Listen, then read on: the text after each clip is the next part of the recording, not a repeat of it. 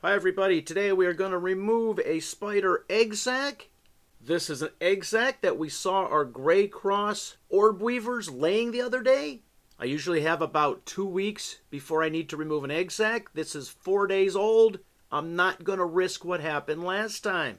We are still dealing with the spider babies from that last unscheduled hatching. It was horrible. They were everywhere. Well, it actually wasn't an unscheduled hatching. The very first one, yes, that was unscheduled. This one was all my fault. I waited too long. I was removing the egg sac. I burst it open and they just boiled out of there and went everywhere.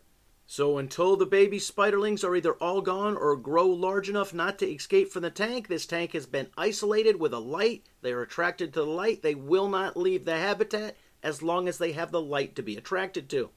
Every few days, I will take that habitat down, set it here on the table. I'll feed them, give them some water, and handle any important business like removing this egg sac. Well, there you have it, sports fans. Crisis averted, egg sac removed. No more extra spider babies in there because we already have a batch that we're dealing with. Leave your comments in the comment section. As always, thanks for watching.